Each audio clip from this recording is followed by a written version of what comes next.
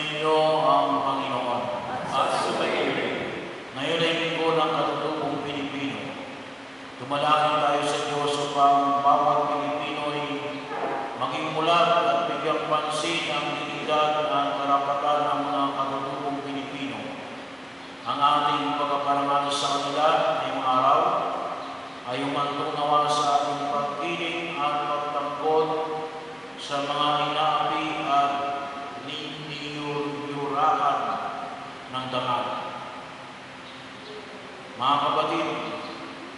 Aminin natin ang ating mga sir upang tayo maging marapat sa banal na pagdiriwang.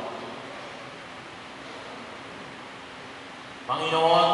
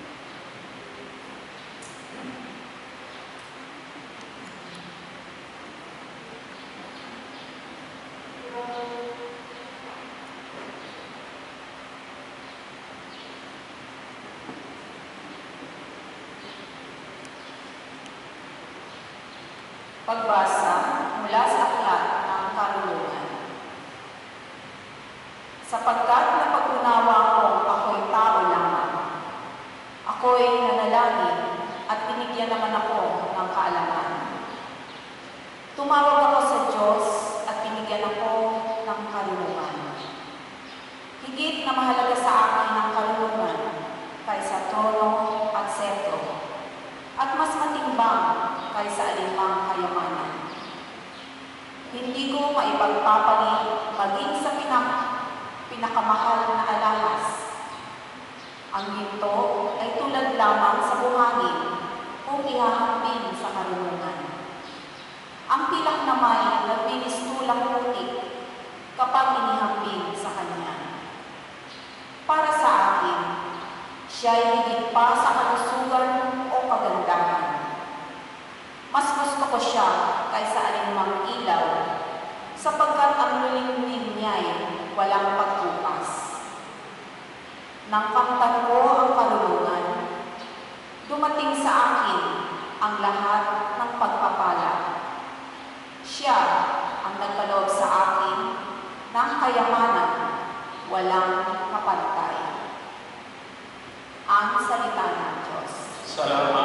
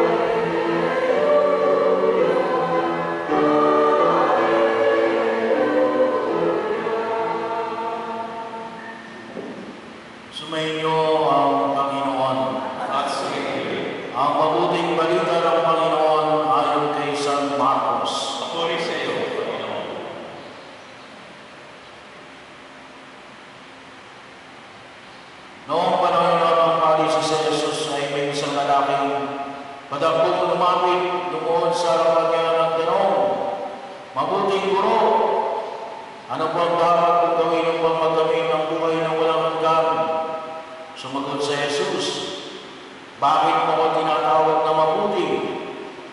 Walang mabuti kundi ang Diyos. Alam mo,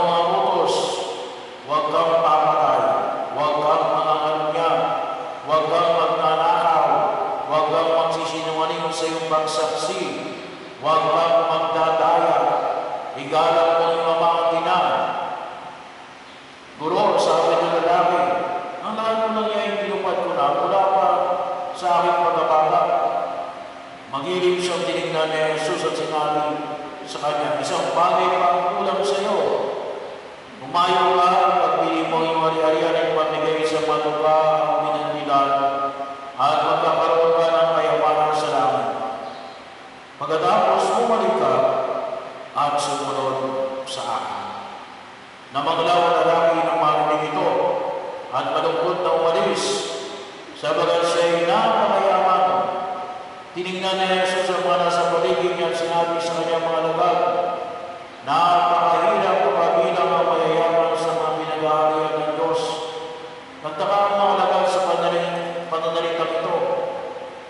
Sinabi ni Jesus, mga anak, talagang napakahirap ang kabilang sa mga pinag-aalian ng Diyos. Madali pang makaraan ang pamilog sa butas ng karalo kaysa pasakot sa pag-aari ng Diyos ng isang mayaman. Lalo ang nakakakalagad kaya sila'y nagtanungan kung kayo sino ang maliligtas. Tinignan sila na sa sinabi sa kanila, hindi ito magagawa ng tao Ngunit hindi ito mahirap sa Diyos. Magagawa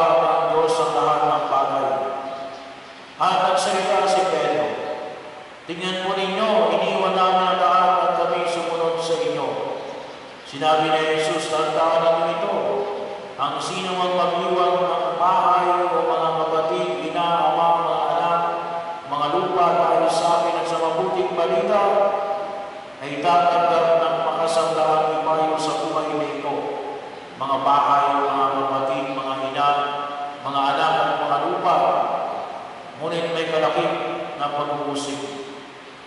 At sa kabilang buhay,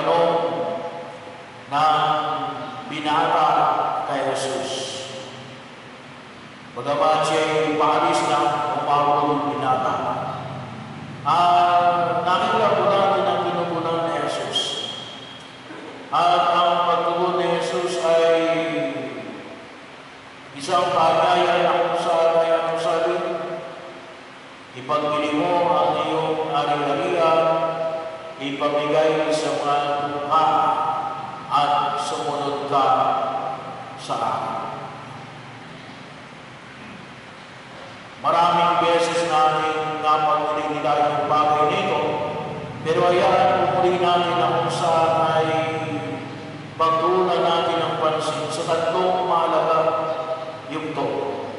Una, na ang makarating sa kaharian ng Diyos ay maliwanag ko na hindi lamang tanggapin mo si Jesus na iyong Panginoon at Diyos. Mayroong maliwanag na pagkilos na masabi mo talagang tinatanggap mo kay Jesus na Panginoon at Diyos. At isa rin o ano, well, alam sampung utos ng Diyos. Kaya nga po sinabi ni Jesus, no, ikaw baga ay, ay sumusunod sa mga ito. Huwag kang magnakaw, huwag kang magdaraya, huwag kang magsisinungaling. So alam natin, kung nais natin pumasok sa kanya ng Diyos, huwag tayong sa sampung utos ng Diyos. Hindi yung lahat ng sampung utos ay binahagi rito. Pero alam natin na yung mga ibinahagi rito ay bahagi po ng sampung utos ng Diyos. So, madali na po natin yun, naiintindihan natin na yung utos ng Diyos. Pangalawa, makita natin na hindi lang po yung utos ng Diyos kasi may pangalawang sinabi si Jesus. Ano? Ipagbili mo ang Maria Siguro masabi natin na wala naman ito sa sampung utos ng Diyos. Saan inulit ni Jesus ang bagay na ito? Para lang bang may masabi siya dito sa nabanggit na binatang nagtatanong sa kanya? Maliban sa utos, kinakailangan natin mapagnilayan na kailangan din natin bigyan ng pansin yung pinag-uutan ng hamon na ibinigay ni Jesus sa inyo, yung walong pagpapala.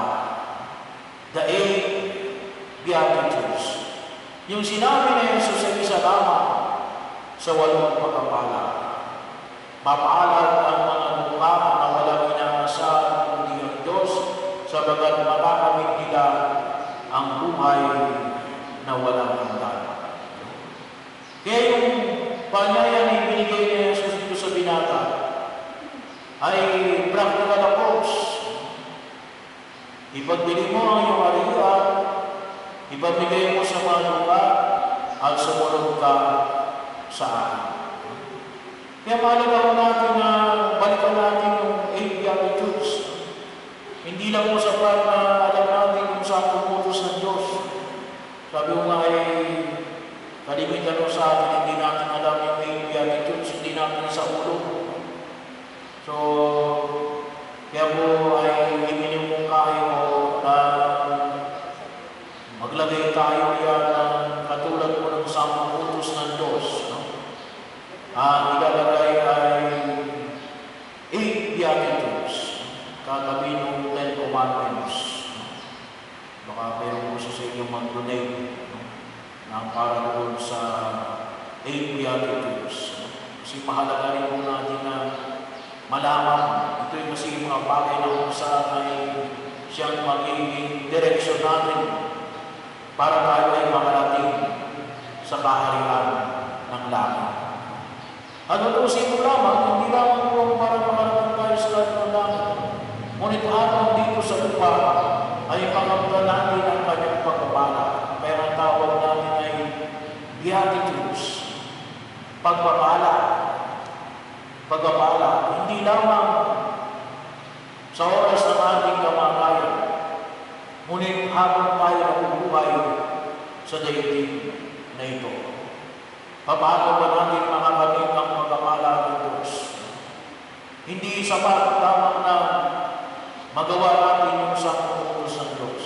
Dapat yung di walong pagpapala. Pangalawa, pangalawang sa nais sa ibahagi sa atin ng Pong Kapal ay isang panyaya sa nabanggit na pagkilos na ito na ipagbili mo ang iyong ari-arian, ipamigay sa mga lupa at sumunod sa akin. Na makita natin yung dalawang kung tawagin ko natin ay trust na nakikita natin sa daigdig na ito. No? Yung the gospel of prosperity versus the gospel of poverty. Pinakuntusin ko ay is more on the gospel of trusting God. Pero kaya yung gamitin ko yung salitang poverty. Kasi very clear yun sa Beatitudes. Mapalad ang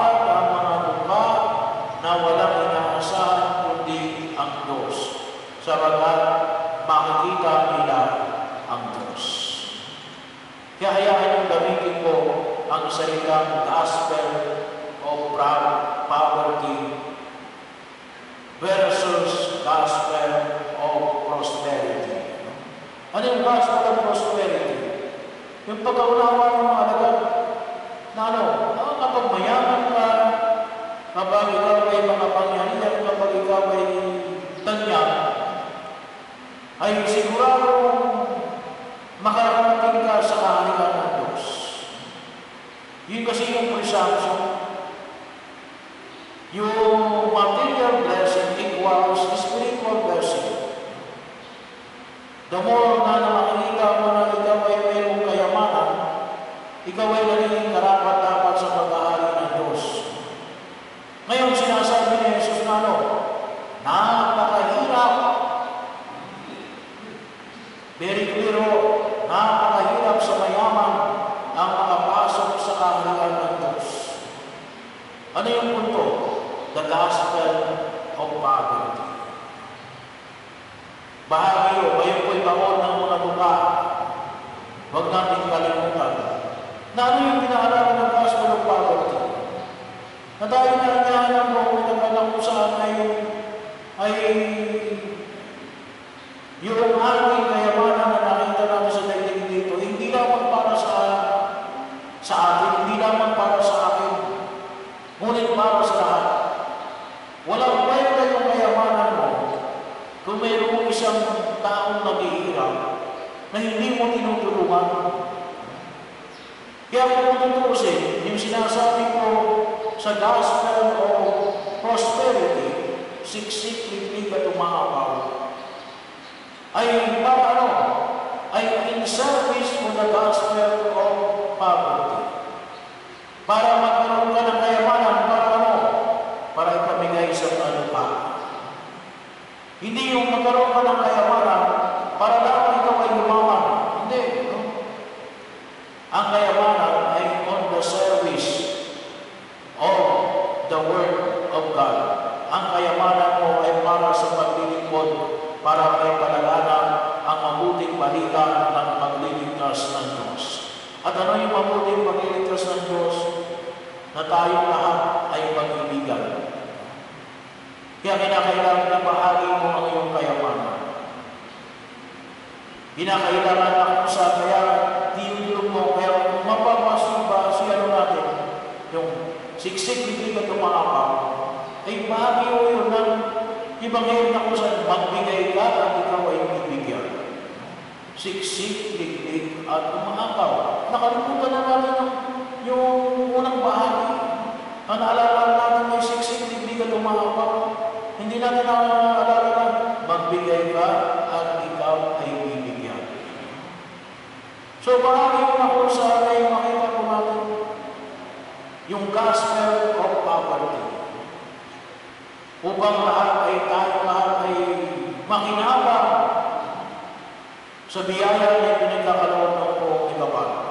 Kaya kung hindi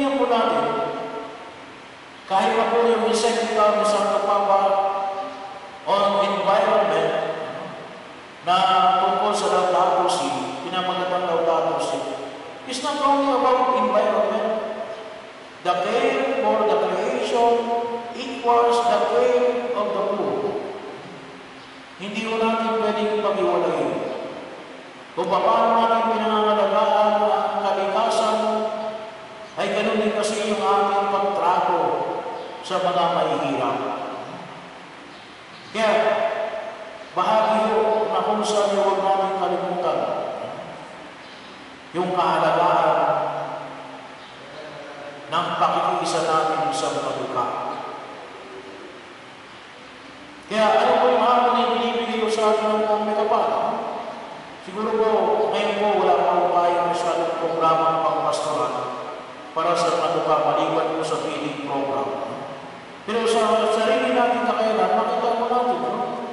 Sabi niya, kilalanin natin yung mga luka. Kilala ba natin yung mga luka ng ating leaders?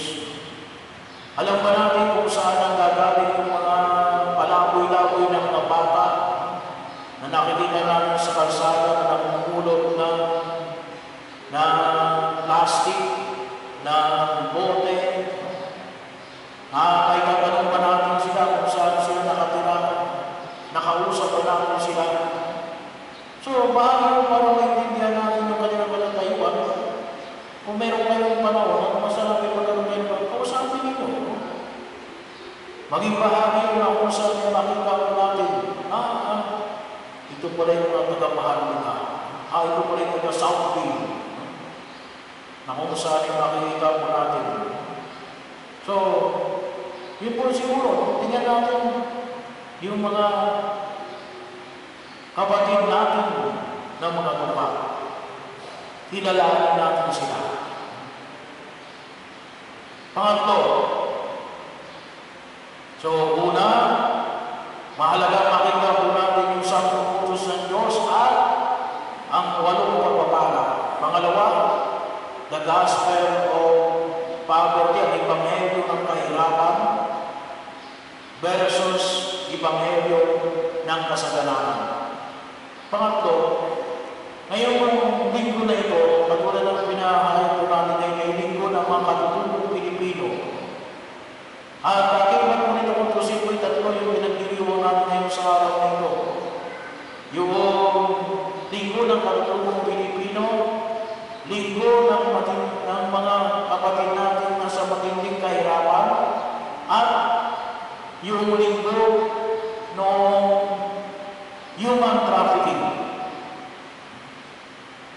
So yung po katutubong Pilipino, well, dito po sa Laguna ay wala po tayo katutubong Pilipino, no? pero meron dito mga kuminsan po ay mga mga kapatid natin na galing po sa ibang mga probinsya na mayroong dugong katutubong Pilipino.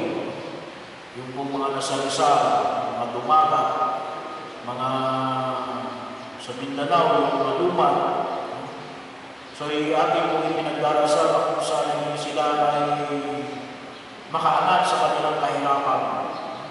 At sabi na natin, ito rin yung linggo ng matinding ng mga dumaranas sa matinding kahirapan. So, yung pakagaya mo natin, ano?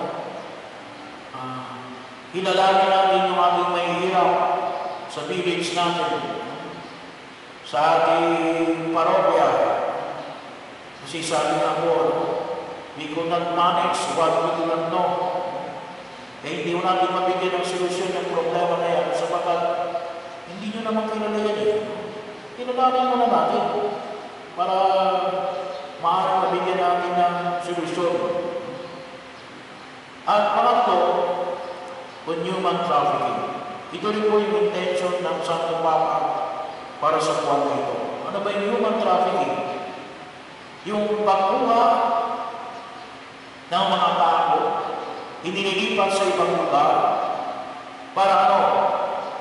For sexual exploitation. Para maging mga mababang, mga babae na papapalupan. Para maging child laborer. O yung iba ay child soldier. Ginagawang sundalo So, bagamat hindi po malakas dito, pero sa ibang bansa, ay napakalakas yan, dudukutin yung anak para tapos ay pipilitin maging sundalo, ibibrainwash. So, dyan, regular, pagkatrabahuin sa mga sa mga lugar na kung saan tulad ng Puerto isang problema na inaarap ng bansang Pilipinas ay ang mga child labor saan? Sa mga minahan. No? May mga child labor tayo sa minahan. Ano ba? Yung po nagiging biktima ng human organ harvesting. Dinudukot yung bata o yung matanda, tapos kukunin yung vital organs para ano, pagbili.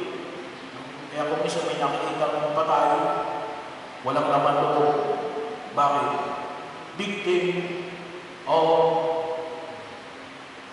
organ harvesting. Hina-harvest yung bahagi ng katawan, ipinagbibili doon sa mga nangailangan. So ito yung, yung ipinagdadasal natin natin. Sana po'y matapos. So ano magagawa natin? Sa mga, sa mga bagay na ito. So, sa maliit po ng mga pamamaraan na makita po natin, ay mapigilan po natin ang pornografiya. no? So, nati-check ba natin, no? Ngayon, napaka-accessible sa internet, no? So, yung po pagkatrato namin sa ating kapwa-tao, yung sana po ay may iwasan natin maliitin natin ang kapwa-tao at ulit halimbawa na may iwasan natin yung pagmumura. So, bahagi yun ng kung saan ay atin po makita ng komisyon nakagulat sa eskwelahan, mga bata ay talagang ma matitinig yung kanilang murahan. So, ito ilan lamang sa mga bagay na kung saan pwede natin ma- makita na kung saan ay matugunan ng atin. no? Pero ito yung hamon ay binibigay ng buong kapat. To get out of our comfort zone para ipahay ang mabuting balita ng pagliligtas at isa ng apurito. No? Katulad ng hamon ay binigay niya sa mayamang binata.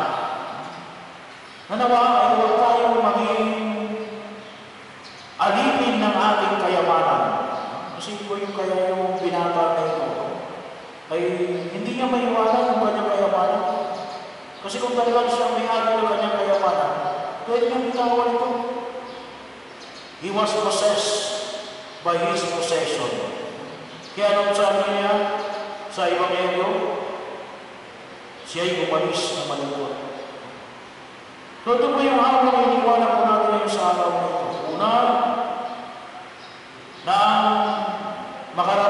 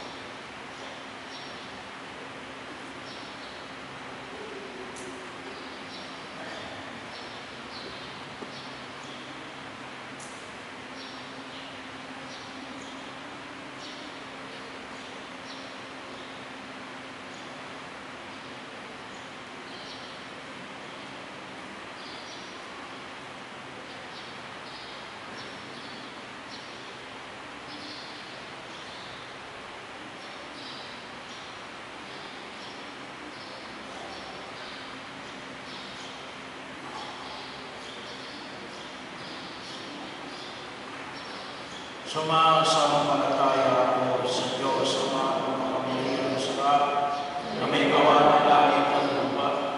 Sumasampalataya ako kay Kristo, isang ng sa malamang Diyos, Panginoon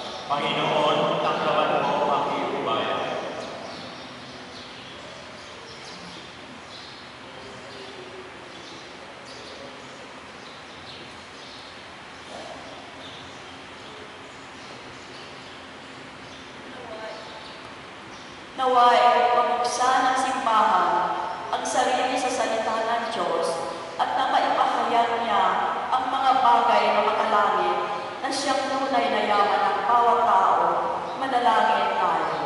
Panginoon,